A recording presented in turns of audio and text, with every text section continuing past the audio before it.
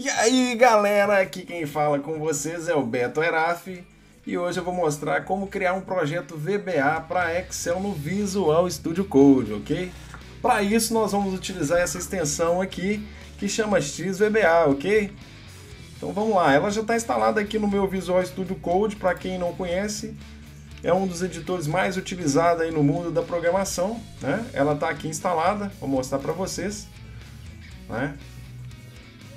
Tá aqui o nosso XVBA, XVBA.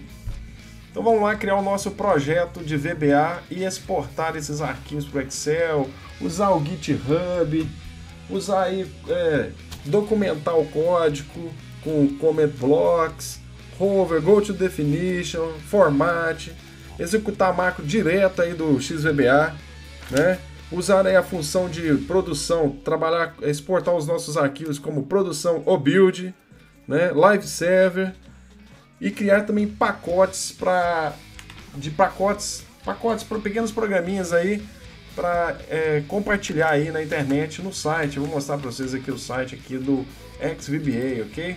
Você pode criar aqui, exportar os seus pacotes para cá. Né? Temos também a outra opção depois aí que é o CLI do XVBA para criar os nossos arquivos e, e, criar esses pacotes dentro do Visual Studio Code, ok? Então vamos lá. Para começar, vamos clicar aqui no botão Bootstrap, né? Bootstrap é o botão que vai criar aqui para nós aqui o projeto em VBA. Podemos selecionar uma dessas aqui, dessas opções. Vou selecionar essa aqui que vem já pronta aí um, um uma estrutura toda pronta de projetos para esse tipo. A gente espera aqui o Bootstrap terminar de carregar todos os arquivos, né? Então carregando vai vir já com um arquivo de Excel aqui de exemplo, né?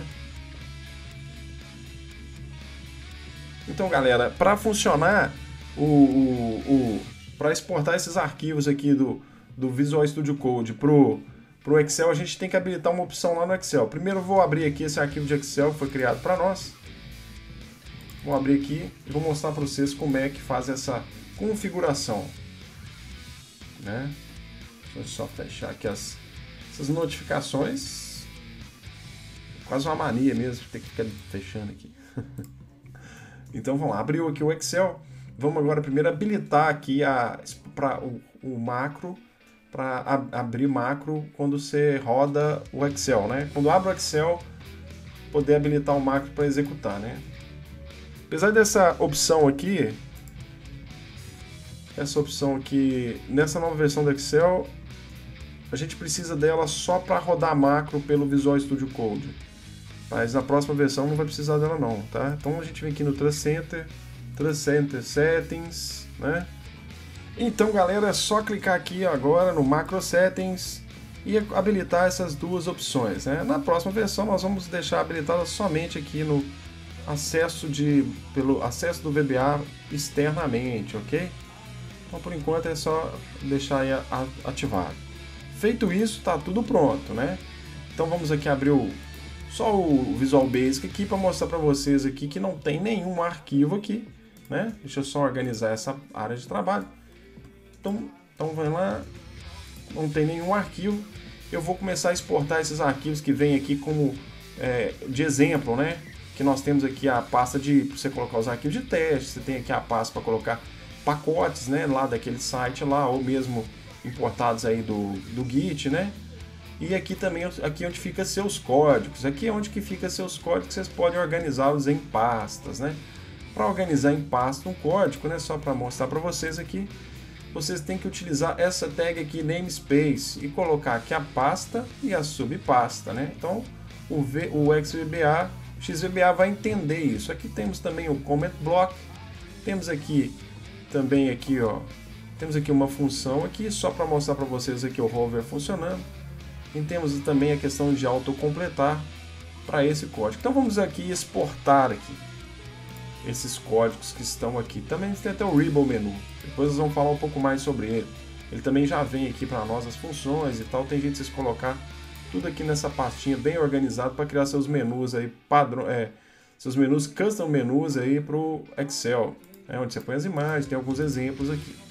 Então vamos lá, para exportar é só clicar aqui nesse botão e observar aqui do lado que vai vir os arquivos todos. Ó. Aqui você vai escolher a produção ou build, né? Porque produção vai exportar todos esses que estão nessas duas pastas e também na de teste. Já no build, a, a, os arquivos que estiver no teste não serão exportados. Né? Então, você usa essa pasta aqui para criar os seus testes e alguns arquivos aí que você pode utilizar aí só para configurar aí o Excel e tal, né?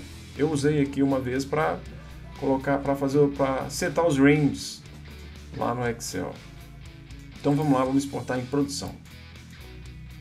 Bom, já exportou, é rapidinho, né? Tá tudo aqui, ó. Essa versão é bem rápida, né, do XVBA. Estão todos os arquivos exportados, né? Vamos ver aqui o teste, né? Vou fazer uma modificação só para a gente ver aqui rapidinho. Vou colocar aqui um, vou colocar aqui um application aqui, deixa eu ver. Só um comentário mesmo. Só um teste aqui, ó. Teste, salvar, vou exportar novamente. Produção. Né? Tá aí, ó. Não? E aqui o teste, vamos clicar aqui para ver, já vi aqui a modificação. Então vou fazer agora o build, vocês verem o build funcionando, né? Vamos exportar aqui no formato build, modo build, já exportou, tá aqui, não vem o que tiver nessa pasta, certo?